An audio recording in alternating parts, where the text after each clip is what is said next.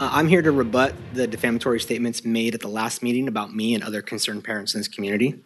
First, the idea that because a group of parents are concerned about pornographic material being available in schools means queer people are not safe in the United States, in California, in Elk Grove, it's patently absurd.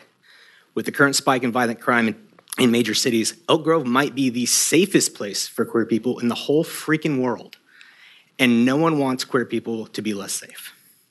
The person who accused me and other parents of doxing her and making her feel unsafe felt so unsafe about her LGBTQ activism that she hosted an all ages drag story time at her business and felt safe enough to advertise the event on social media.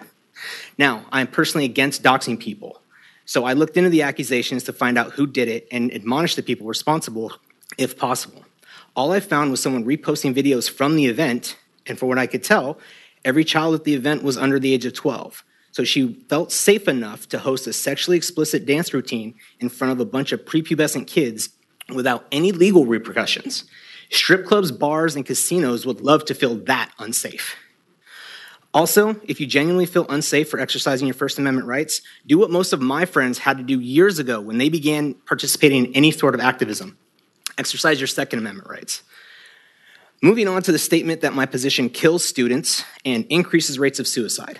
Well, I wish I'd known 25 years ago that failure to have porn available in public schools led to teenage suicide. That would have been made for a great conversation with my high school principal. Seriously, though, the accusation that I want policies that lead to more suicide, my dad committed suicide. Accusing me of wanting anyone to get to the point where they think death is the only reprieve from their grief, or that I want any family member to have to pick up the pieces in the aftermath is disgusting.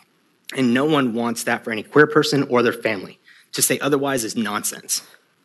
Now, I don't know if she realizes what it means when you say you feel unsafe. But when you feel physically unsafe, who do you call? You call the police. I think she was being honest that this is not an issue the city council should be involved in.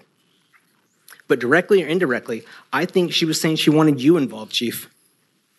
When you say you are not safe, that means that you want the police involved. Because of this, I have three questions for the Chief of Police. One, should I warn the parents who are against porn in schools that the police, local, county, state, are watching us? Two, do I need to go home, tell my wife to be prepared for the police to show up to question me for thought crime? And three, if I do, can you do me two, pl- two favors? Please, one, bring a warrant. And if you don't have a warrant, please knock. Even Stalin had a decency to knock. Thank you, sir. And Mr. Thomson, if you're interested, please reach out to me via email. I would love to have a cup of coffee with you.